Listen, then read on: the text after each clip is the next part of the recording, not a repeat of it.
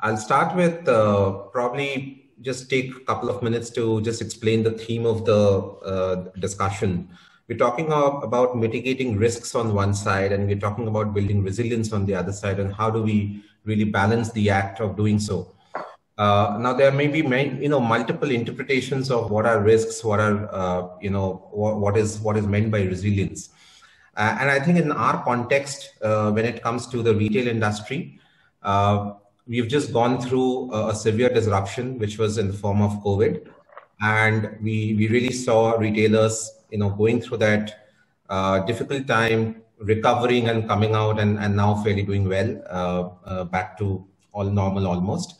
Uh, in my view, mitigating those risks is really about managing anything that's unknown, uh, which could be from the external world, which disrupts our business, which impacts our revenues, which impacts the continuity of the business per se. And building resilience is really about working with, uh, you know, on the capability side to say that, you know, how do we strengthen our employees? How do we strengthen our product offerings? How do we have deeper connect with our customers, you know, to ensure that business still goes on even if there are external disruptions. We fare better than our competition, you know, if we are more resilient. That's the perspective that I think I would like uh, our speakers to have in mind with that, uh, maybe I'll, uh, you know, we've got an interesting mix. We've got uh, fashion retailers, we've got uh, grocery, and we've got service providers. So maybe I'll come to Anup first. Anup, you run Kirana King. I think you've been closest to, to see, you know, how the Kiranas, the mom and pop stores in the country got disrupted uh, it's also a fact that a lot of consumers really depended on that layer to, uh, to, to be catered for their needs during the most difficult times of the lockdown. So, if you can throw a little bit of light about uh, what were your experiences, what did you learn from this whole experience? So, thank you, Subhajit, and thank you to all of you. So, as a, basically see all of us everybody during this pandemic time understood the value of uh, kirana stores right? So but we at a kirana king level right basically. So we can foresee basically during last couple of years that what is the value of mom and pop in stores. Whereas basically most of the consumers and various other stakeholders have uh, realized the value of mom and pop stores during this pandemic difficult time. So definitely uh, during this pandemic time, there were a lot of challenges in terms of maintaining the supply chain and uh, of course motivating all team members in the supply chain to work right. So definitely the the, the resilience what we have developed uh, among internally team members and uh, the various stakeholders has shown us a different capability right so what I can say that in Indian grocery retail ecosystem, uh, whether it's a consumer or retailers have realized the value of the mom and pop stores and the same time, uh, especially Kirana stores also have realized that the way consumer behavior is changing and the consumer shopping habit and the buying habit is changing. So there are various changes has to be made in terms of their way of doing business. So definitely uh, see the difficult times comes and difficult time goes you know like see but what exactly you learn out of that so that you are ready equipped to face the, un, this kind of unforeseen circumstances. So definitely kirana segment and uh, what i can say that especially in entire indian retail ecosystem where kirana retail contributes a quite reasonable portion of the retail. And uh, they have shown the power. So what I need basically that during this pandemic time, of course, there was various challenges at every stakeholders, whether it's the supply chain side, whether it's the operation side, and also consumer last mile delivery or consumer visiting physically. So definitely it was a tough time, but we at a company level, whatever as a business model which we was implementing during last few years, that helped lot to our Kirana King stores rather than a normal Kirana stores to become more serviceable and more, you know, uh, in terms of give, providing more convenience to the consumer. So that was the overall experience of Subhajit. So Anup, if you can just drill down that. So you said the Kirana stores enabled by your platform did a little better than others maybe who were on their own. just one or two specific areas where you know they derived the benefit and they could pass it on to the consumer? Right. See, overall, you know, see, our business model lies on the entire ecosystem, not about the consumer, basically. So we are addressing three quite large problems of the Kirana uh, retail ecosystem, whereas we can see that uh, infrastructure and operational challenges what a traditional retailer uh, faces. And uh, second is basically supply chain side, whereas they have to deal with the fragmented distribution ecosystem. And, and third is basically demand side so I would like to elaborate all these things in detail because it's a very interesting subject for all of us. So infrastructure, if we realize that, you know, during last uh, many years, everything has been changed surrounding Kiranawalas, but they remain same, whether in terms of a planogramming, visibility, operational capabilities, digitization. So they're lacking because there's so much of busy. So definitely our uh, retail as a service ecosystem brings the entire value proposition which solve all these three quite large problems so as a business, uh, we are basically bringing independent Kirana stores under the single brand umbrella of Kirana King and connecting these stores with our centralized purchase solution and promoting these stores among consumers. So we are trying to address all these three large problems.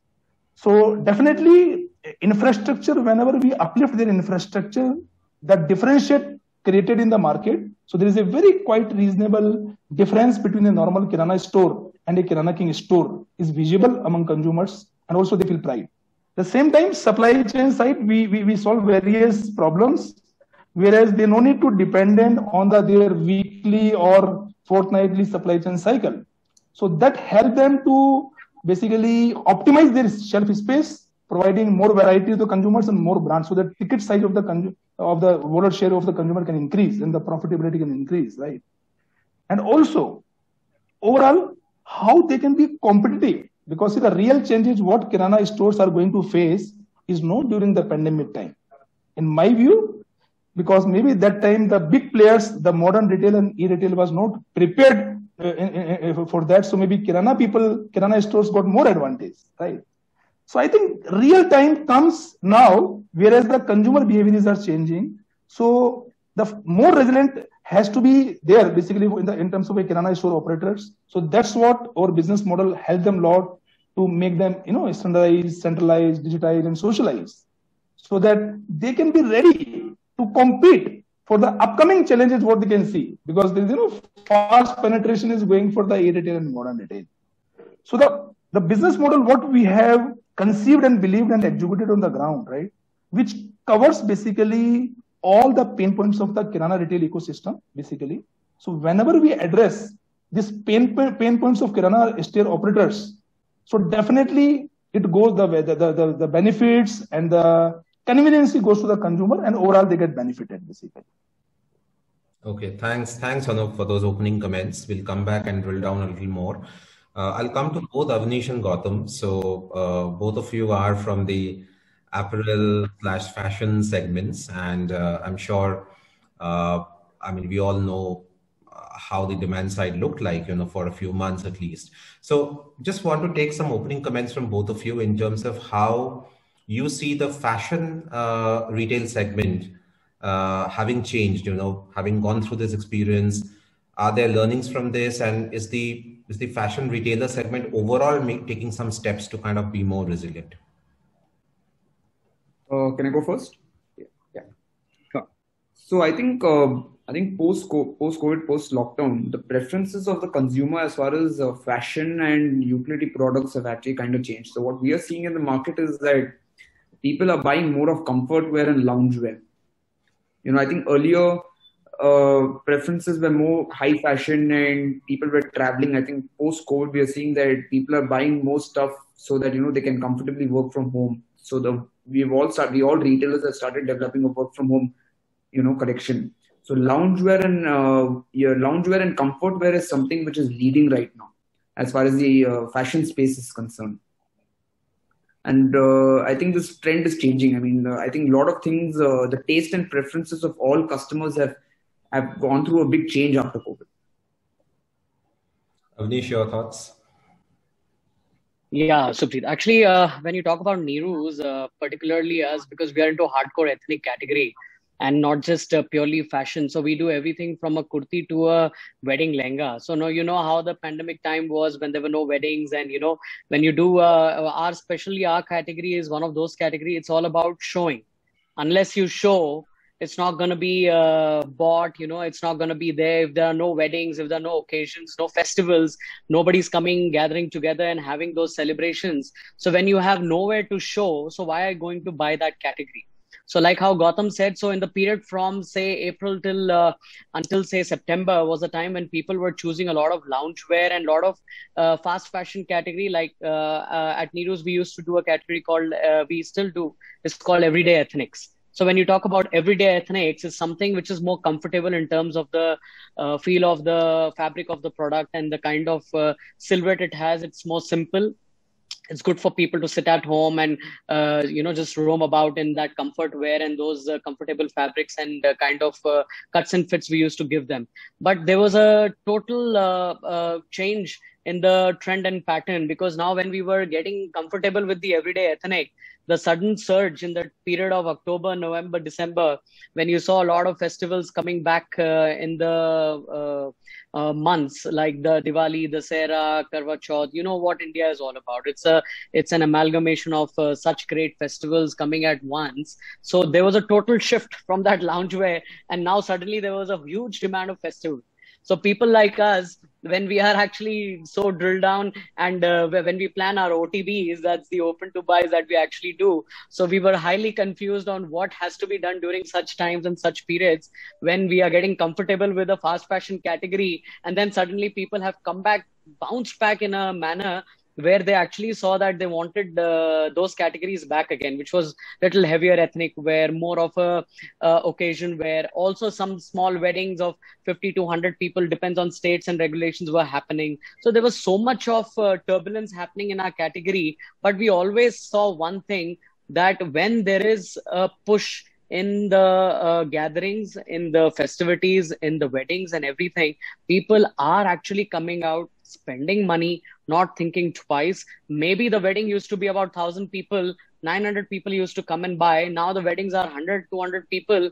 You just have about 150 people coming to buy. So maybe that footfall of that, that gap must be there. But then the people are actually coming out. They have not gone down in their ticket sizes. They still want to buy everything at that price they don't want um, uh, any kind of compromise for that kind of a fashion segment that they're looking at. So there was a lot of turbulence like uh, like i said from april to september was one period.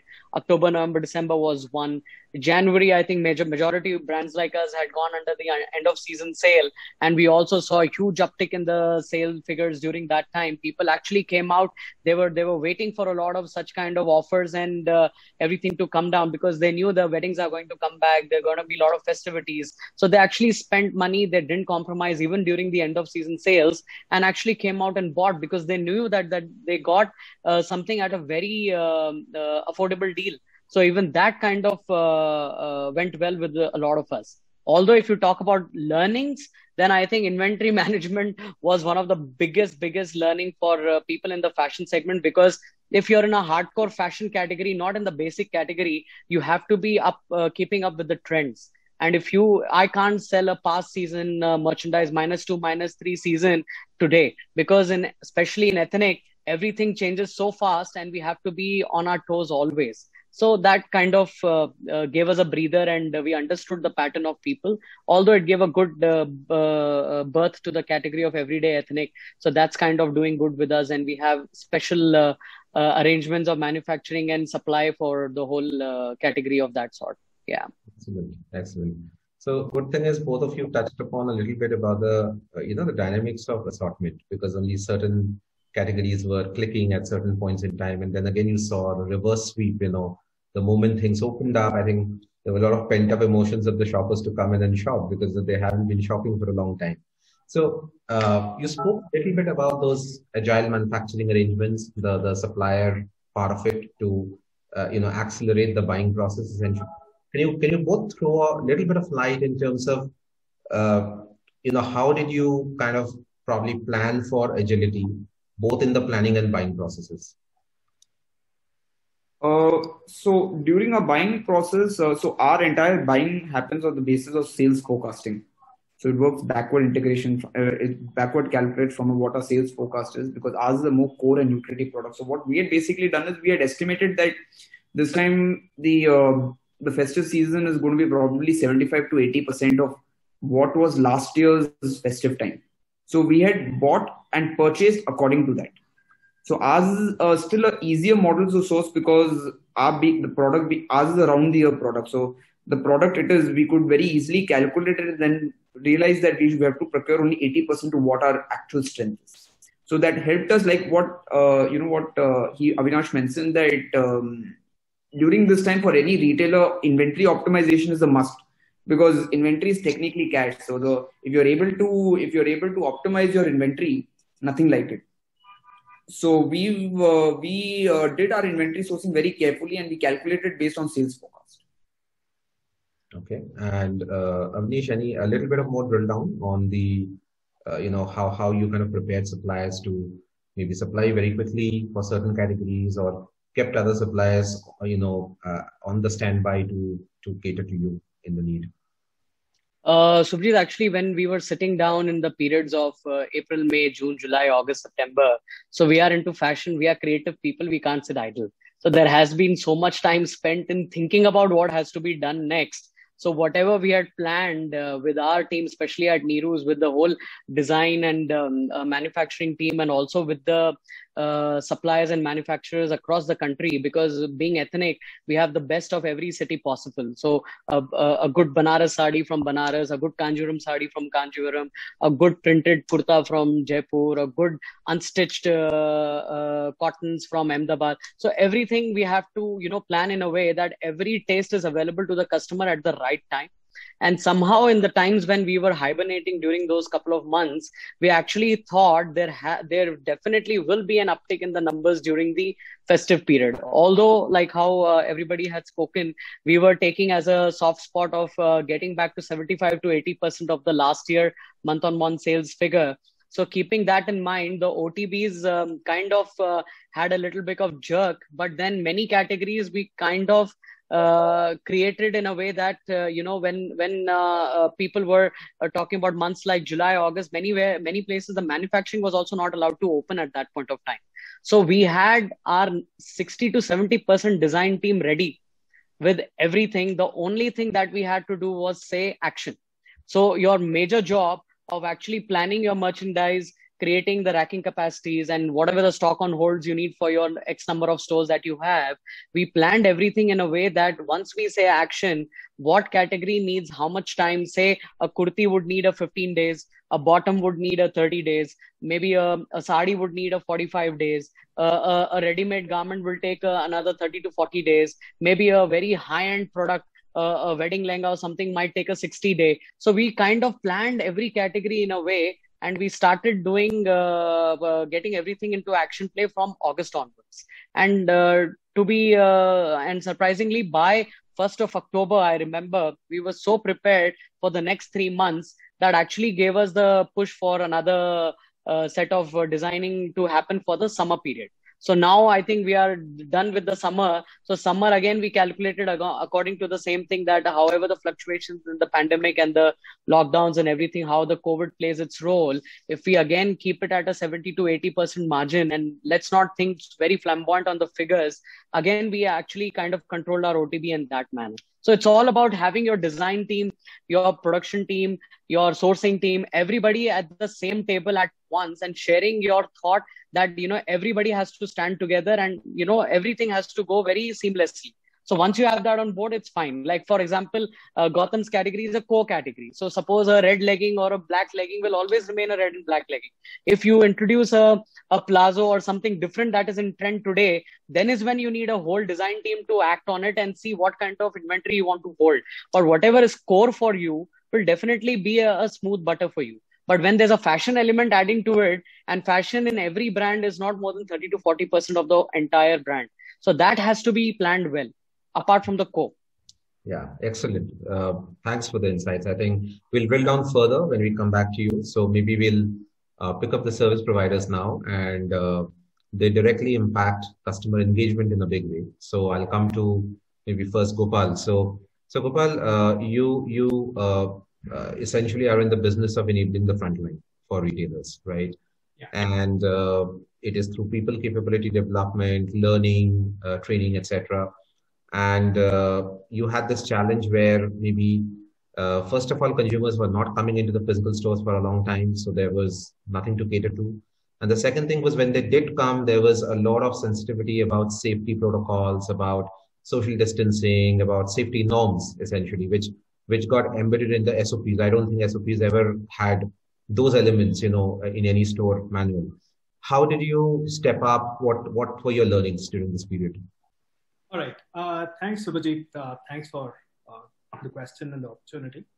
Uh, see, basically, Bsharp, we are in the business of providing an application for companies which will help to train and engage and provide data to the frontline person standing in the retail outlet.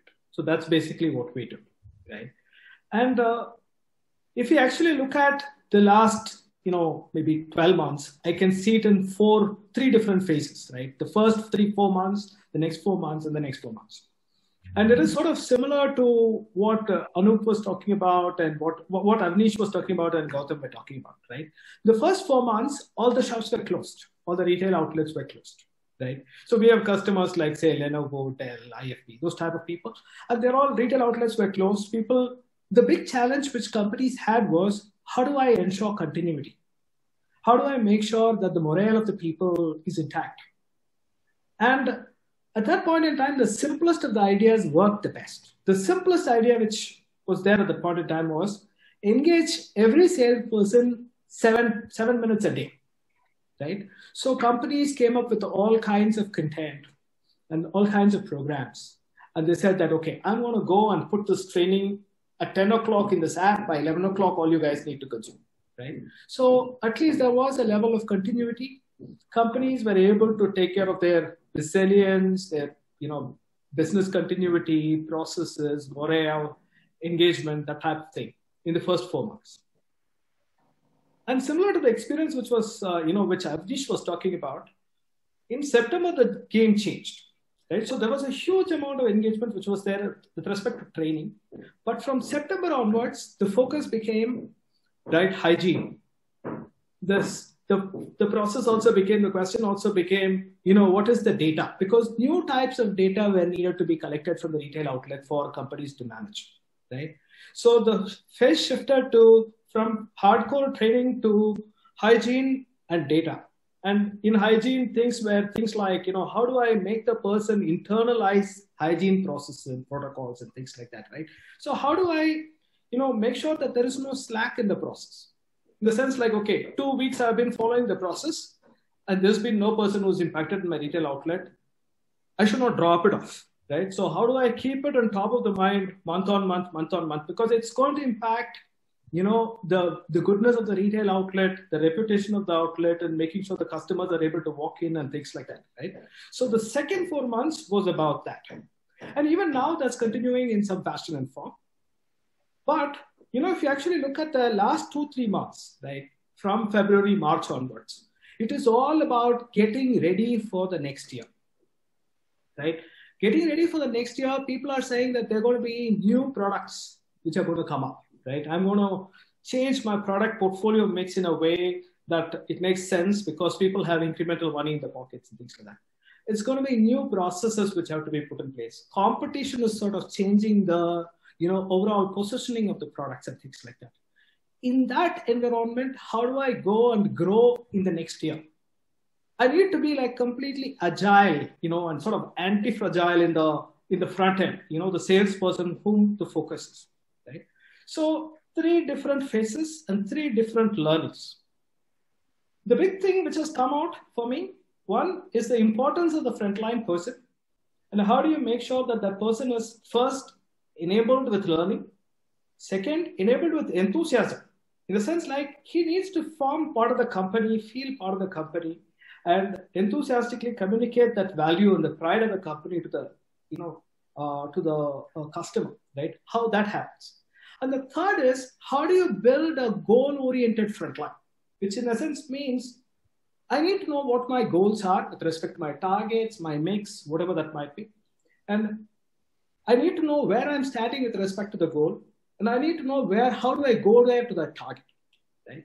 So this is basically the three big things which I have learned, right? And which have been driven are about simplicity, right? Simple things done over and over and over again on the mobile. So that's been my experience, Subhajit. No, thanks, Gopal. I, I, think a lot of retailers here would, would agree to some of those sentiments. Uh, I'll come to Tejas. Uh, Tejas, uh, uh, you know, you, you've been kind of enabling a lot of retailers in this country, uh, uh, you know, to have a very robust customer 360 view. and knowing the customer very deep, intimate is, is, I think, an asset, you know, during these difficult times because you, you know the customer better, you know what would be really important how would be the response of the customer? So can you share one or two examples where you saw, uh, you know, very radically different results in terms of uh, how the retailer could cope with difficult times? Uh, you're on mute, please.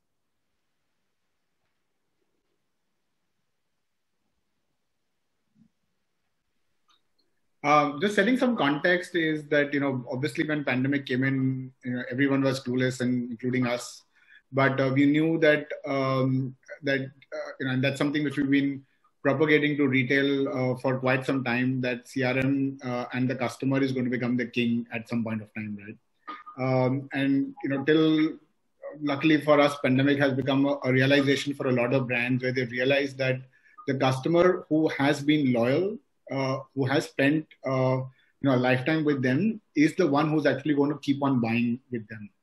Um, and a lot of the brands uh, where they've really fostered CRM very very well by creating a single view of the customer, they've really thrived pretty well to you know circumvent the issues which are happening during pandemic. Right, so. Uh, brands uh, where uh, we knew what kind of customers expected to come, the kind of communication that is brought in, some of the places the personalized communication has brought in about 2x kind of responses with the customers you know as compared to what they were in last year. Um, like during the festive uh, seasons we've seen uh, you know right even from ethnic brands to footwear uh, doing far better than what they were doing last year at the same time right? So uh, we've seen some phenomenal results because of personalizations of communication uh, brands uh, where uh, they have made the presence at an omni level. And right, what you're talking about the 360 view.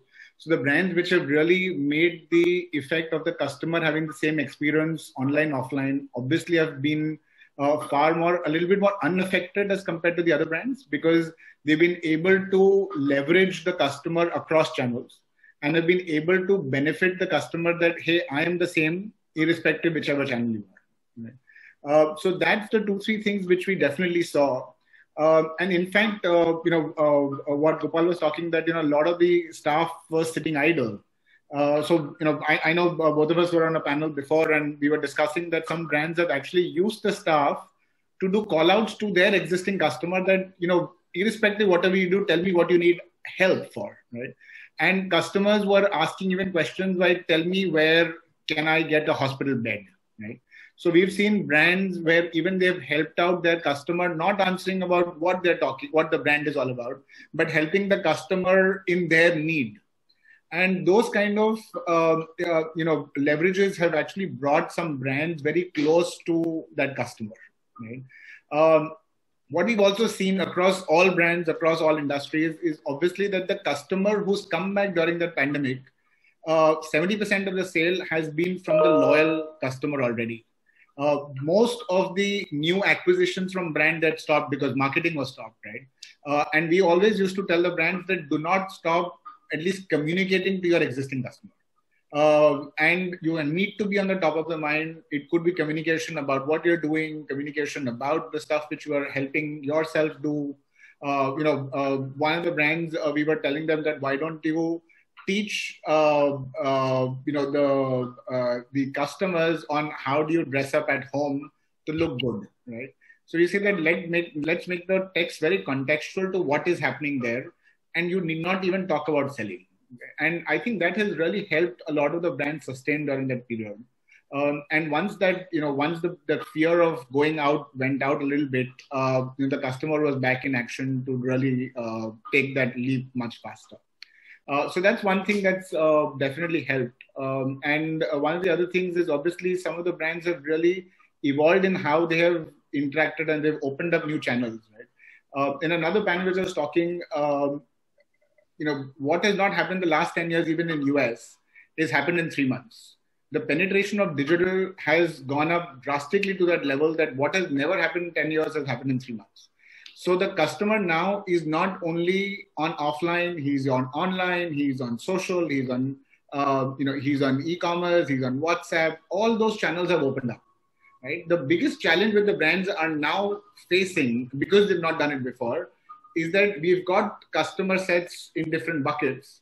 How do you consolidate to create that single view? Right? And that's the next leap which the brands will have to start picking up much faster because the brand, because the customer has started moving. Right uh, your customer who was in Bangalore is now sitting home uh, in Indore and still you know loves the brand. Right? So you start, you need to start bringing those channels together. You know, you, it is not gone are the days where you can say my online will run separate, my offline will run separate, my video commerce will run separate. It has to be consolidated into that single channel. Um, and that's the uh, the learning which we've got from brands, uh, especially the enterprise brands which we've been serving uh, they already had that vision, right? So it was much simpler for them to really uh, action that out much quicker.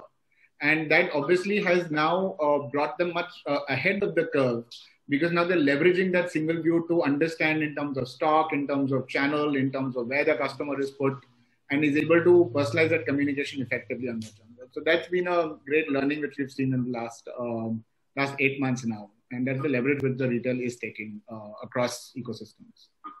No, thanks, thanks, Tejas. I think I think all the points that you said actually cuts across different segments of retail as well. I don't think any segment of retail would not find relevance in what you said uh, right now, be it grocery, be it uh, fashion, or anything.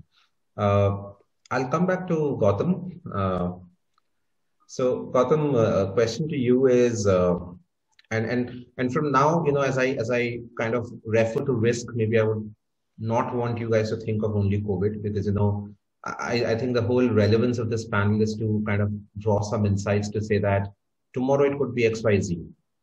It may not be a calamity, it may be something else, it may be an economic situation, it could be some some other disruption, but it's a disruption which kind of disturbs business, right?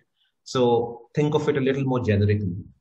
And being a kind of single category retailer, right, with deep focus in what you do, and you're known for it, you have a positioning for it has its pros and cons, right? Because if we look at the previous example, which was mostly above the desk dressing, you know, if this is what I call, you know, because everybody could see only above the keyboard. Nobody was looking uh, below that. As a business, to build resilience, do you think that's a challenge? Do you think, no, that can actually be turned around to be an advantage for you? How do you see? Because there would be many other retailers like you who have very focused range or assortment. They want to play in one or two categories. They don't want to have a big assortment. For those kind of retailers, how would you uh, suggest the way forward? Uh, so I'll begin with telling about what I do. I mean, since you gave that perfect example about we dealing in bottoms. So look, uh, product disruption can happen at any point of time. Like if you take historically, the Indian attire used to be saris. So when the sari became a two-piece market in the form of a top and a bottom, there was a big disruption, and I think a lot of uh, you know a lot of buying behavior changed. So I don't think uh, so. The two-piece market, what has happened in the last decade, I don't think it's going to go back to a one-piece market, which is a sari. I think it's going to remain a two-piece market. But however, since we are dealing in the bottoms, in bottoms, the star product is going to keep changing. At, bo- at one point of time in the bottoms, only one particular type of silk bottoms or a chudidar type of bottoms used to sell. Today, I feel the industry is moving towards more of trousers, pants, and different type of other bottoms. So even in bottom wear, the resilience has to be there where we are evolving ourselves and moving to the next product in bottom. So that customer shift from one product to the other product under the same umbrella, we have to be careful of.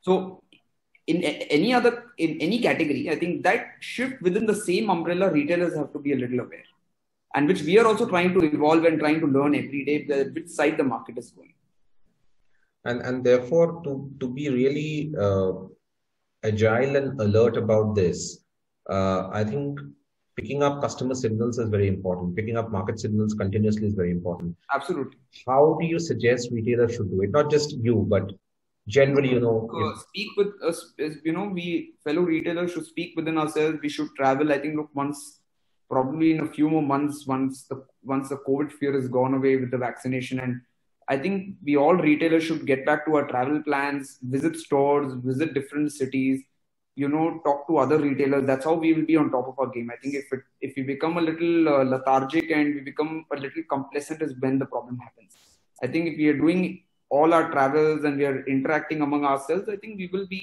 able to see that change and shift okay i mean like consumer forums like this really help and understand other other people's point of view so i think interaction and travel is the most important thing during this time but I think um, resilience and, uh, like rightly you mentioned, one is at a product level. There is another level at a sales channel next level. Today, um, I think uh, there was retail uh, traditionally which was sold in a particular way. I think retail, whether online or whether offline, is moving D2C, which is direct to consumer. So I think whether you are an online brand or whether you're an offline brand, I think having a direct connect with your customer I think is one of the very key metrics of the future. Say people say online is the future, omni-channel is the future. All these things basically say one thing, which is direct to consumer.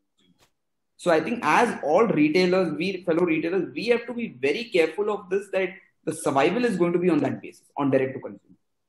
The traditional way of retail is not really going to be that relevant, say 10 years from today. I might be wrong, but uh, the future is D2C. Absolutely, absolutely. I'll come to Anup. Uh, Anup on the other side, uh, the grocery side. Uh, you know, again, if you don't look at it just from a COVID lens, but look at it from any risk that may come, you know, and, and the, the the the segment of retailers that you are close to. How do you think those mom and pop stores, the largely unorganized segment, should brace up for anything unprecedented that comes our way? Because a lot of the structured planning, uh, you know, the processes that modern retailers have are probably not available with that segment, right? And that's where you also play a role in terms of, you know, formalizing some of these processes for the, uh, you know, the cohort that you work with. How do you see, you know, that segment getting more prepared to avoid these disturbances in the future? No, uh, very good question, Subhajit. Uh, because as I told you that, that, that the problems comes and problems goes, right? The today is a pandemic, tomorrow is a cyclone, and uh, day after tomorrow somebody else will come. Whereas the grocery retail business is concerned, it's the need of the day-to-day life, right? So if we see overall the Indian retail grocery retail scenario, right? See, so there are various problems faced by these retailers and unfortunately, I will say that uh, most of the retail conferences or any of the retail panel, most of the time we will talk about the consumer side or maybe a supply chain side. See, in my philosophy, that a country like India, retail is already there. We need modernizing retail. Whether it's a D2C, omni-channel, or B2C, whatever we say, ultimately the producer who produce and the consumer who consume and in between there is a retailer it can be an offline retailer or it can be an online retailer or it can be an omnichannel retailer definitely during this pandemic time irrespective of retail category what i can see the country this is my global experience which i can say that country like india it need a omnichannel presence because the consumer today it need multiple options to buy the product because Indian consumer behavior is not consistent in respective of category. Sometimes, if he's a comfort, maybe he want to buy online. Maybe he want to, uh, let's say, category like a grocery. He want to order on call, or maybe he want to walk through and you uh, nearby Kirana stores. So, to be very frank, uh, keeping in mind the consumer changing because everything moves according to the need of the market. So, in a grocery, there is a big myth that discount and offers most? I say no. First of all, the need, because we, we need to understand the per capita of the per capita income of the Indian consumer and how much he spend on the grocery. So in my view, the first comes the need. Second is availability of the product and the assortment, what the consumer is looking, which is all about the supply chain. And third is basically, you can say, the convenience. Because the grocery business is all about convenience, it's not about the price. So convenience can be a availability, all these two, three points, and also can be a home delivery, can be a credit sales, and fourth is a, maybe a loyalty, value offers, which every consumer is looking.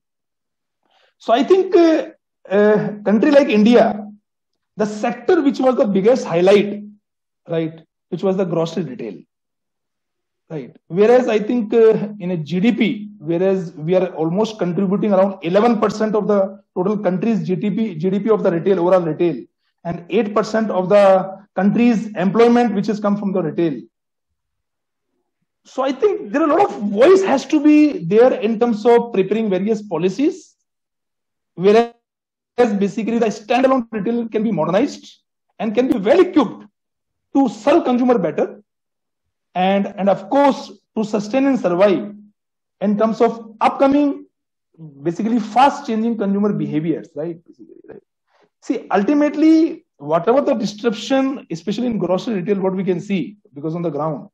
Trust me the traditional kirana stores especially in tier 1 and tier 2 is business is reducing since last couple of months right.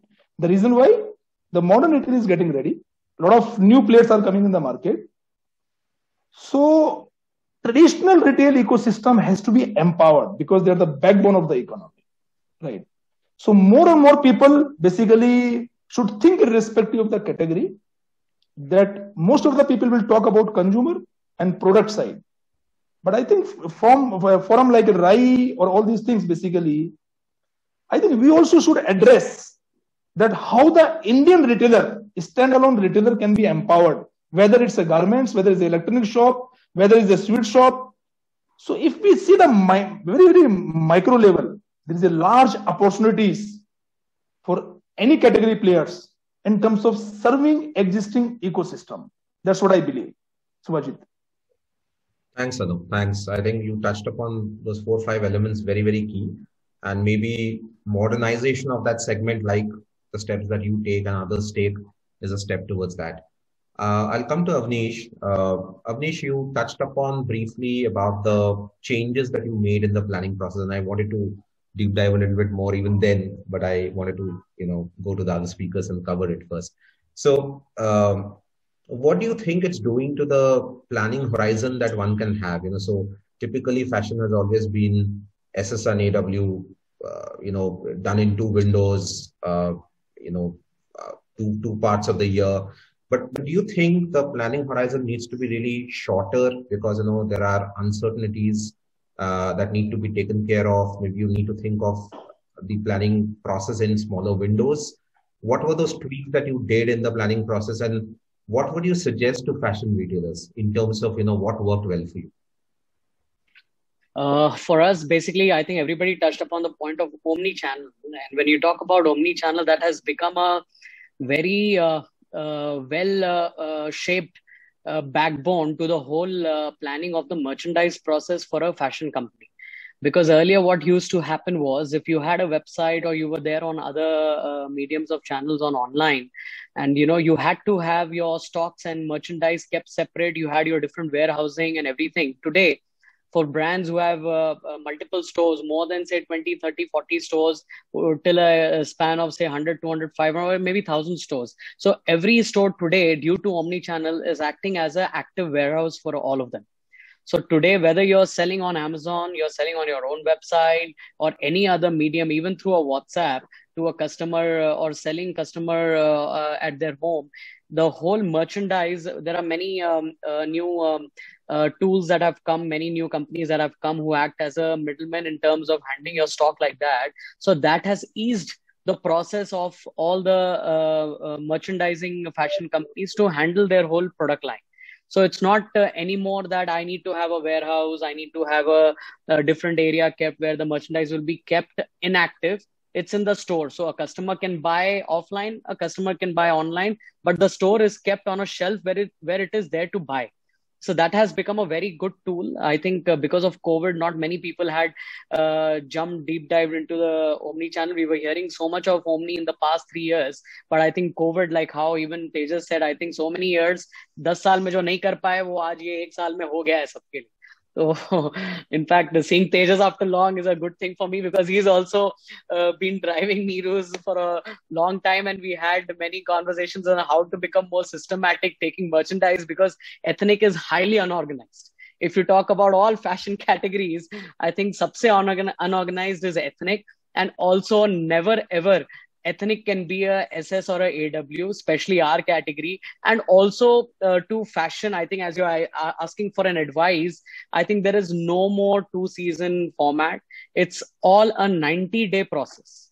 If you want your customer to come so many times you can't have two seasons. If you want your customer to come to your stores seven times 12 times in a year or maybe every month then how can you have a season of only six and six months and do a end of season sale. So when you want your customer to come 12 times, is there a process where you can give him something 12 times?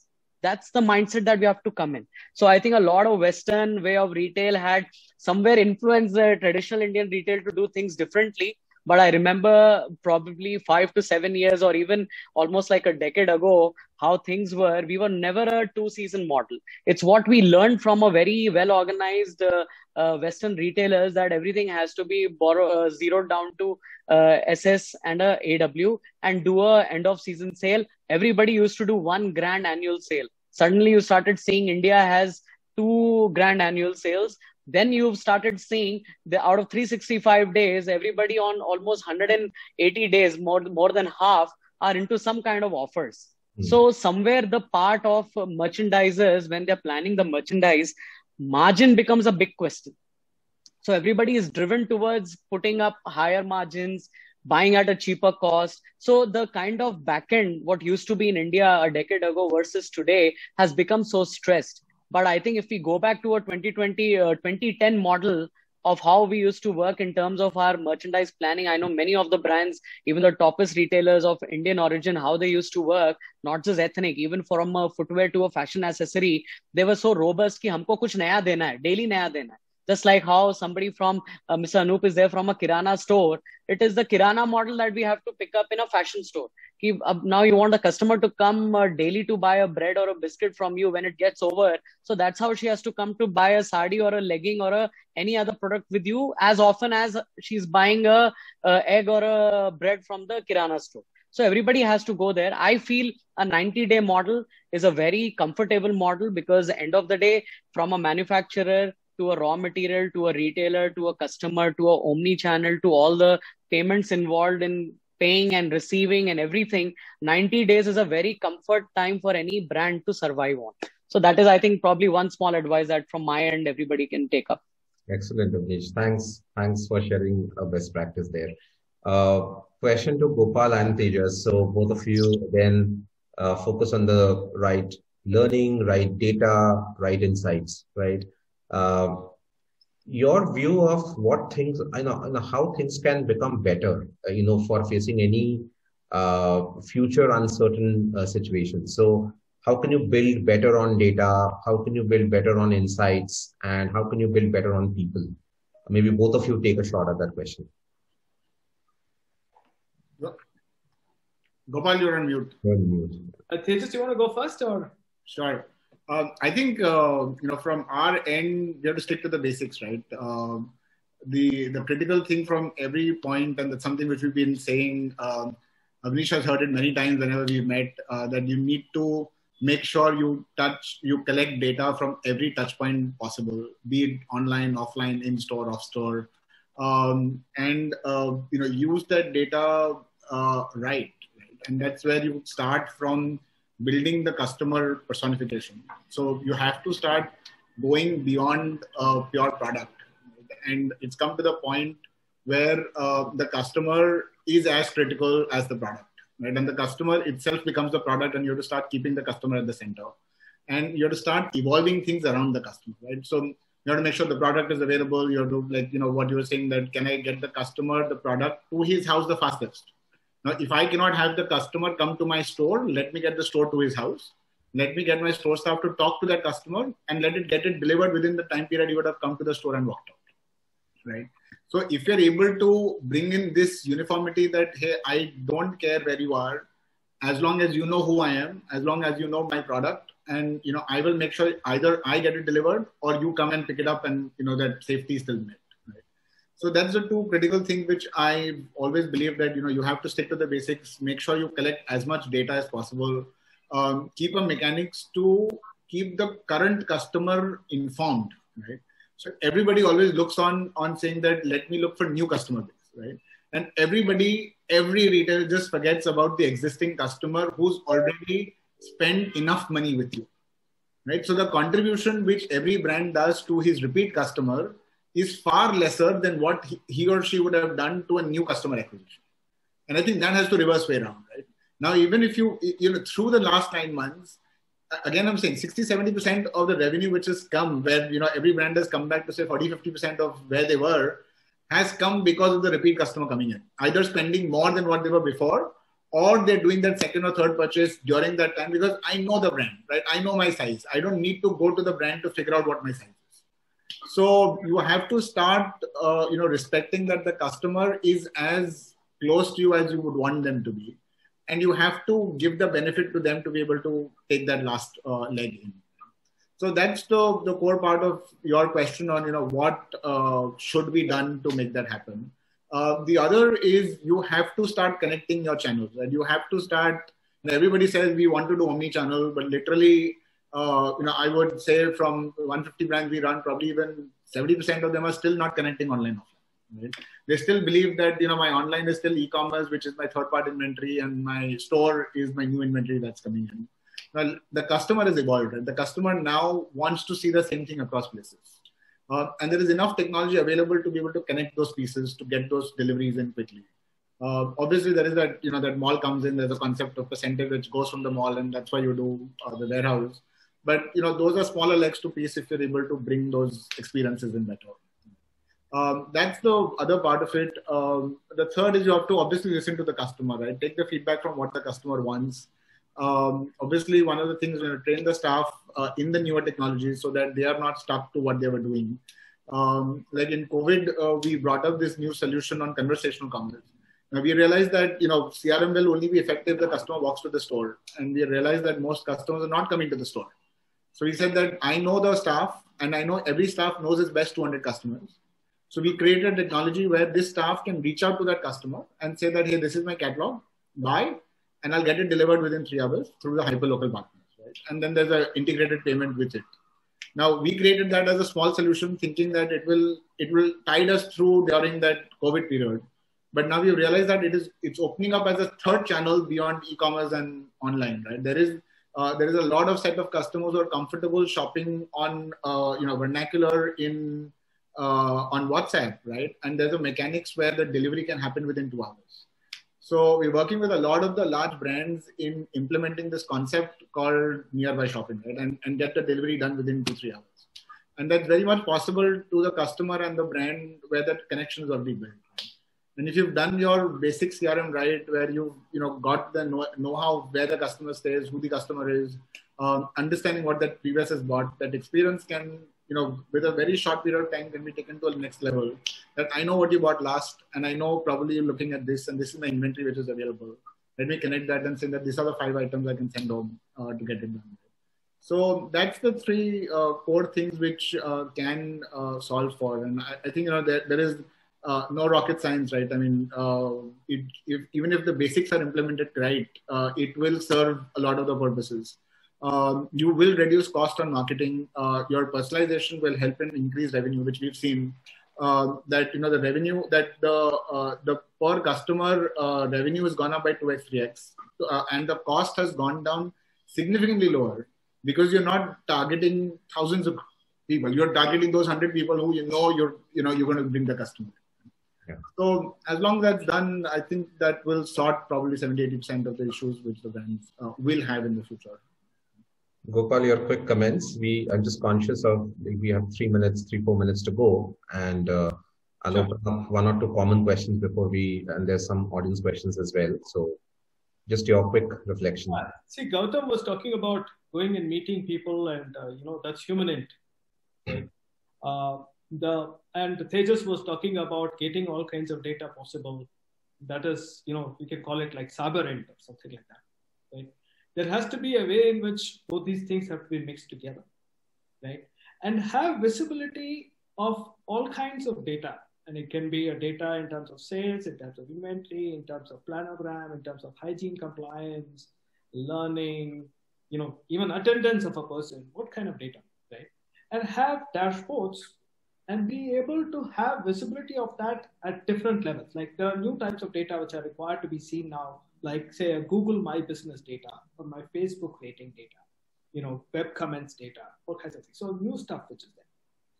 Now, what I've seen is that even if technology exists, the culture of people, and again, I think they just talked about it earlier, uh, the culture of people have to be changed, right? Uh, that they are conscious, so the sales manager of a town or a city should be able to go and see that dashboard and make some intelligence out of it and create some actions out of it, right?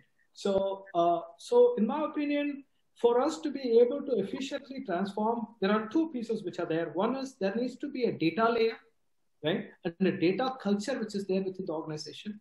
And second is a communication layer and a communication culture which is there in an organization. In the sense, like if I have to infuse change based on some data which is available, how do I quickly make that happen and internalize it at the last person standing in the front, right? So my opinion is from a resilience perspective, it is very simple, but it's very difficult have a data layer which will give visibility across the organization for different parameters and flexibly so, and have a communication layer which can change the command and control from the top to bottom in a very rapid way, right? So, uh, and this is basically what we enable, um, and this is basically what we do you know, for a living. And I think the cultural change is the most important aspect of this. Excellent. So on that note, I think we are close to the uh, you know uh, hour. I'll just take one last feedback from all of you. Just one word. Yes. So uh, I would like to say something. yes, sir. Yeah. Subhajit. So I think uh, the wonderful talk which I can acknowledge from the Tejas that really during pandemic time, what I can understand, the CRM plays a very good role. That how closely you understand your customer and how closely you communicate, whether it's the retailer or whether it's the product. So what I can see that today market is not about the market share. Market is all about the mind share. That how deeply and how closely are in consumer's mind. So I think CRM uh, basically is going to play a good role. Basically, that uh, convention, conversational commerce, which is also I can see the new word, the conversational commerce basically. So I think uh, again because the pandemic has changed a lot whether it's a supply chain whether it's a retailer or whether it's a consumer so it applies to all that how closely we can communicate to all the stakeholders from end to end life cycle of any product or retail that is my basically outcome of today's conversation Shabali. no great uh, i think I'll, I'll i'll just close with just one word from each of you one word that reflects the sentiment of the retailer retail industry going forward to kind of build greater resilience, mitigate risk? Just one word, each of you. Yes. Sorry. India need modernizing retail. We have already retail, right? India need modernizing retail. Okay, retail already exists in the country. Modernization. Gopal? Innovation, which is modernization. Avnish? I think in the toughest times, think the simplest. Gautam? Innovation. Tejas? Um, I come from the CRM industry, customer first. Uh, Excellent, excellent. It was it was wonderful getting all your views. Uh, I think uh, there was fair amount of interaction, building on each other's ideas. Uh, thanks a lot, RAI, for giving this platform to all of us, and uh, you, Lisa. Thank you.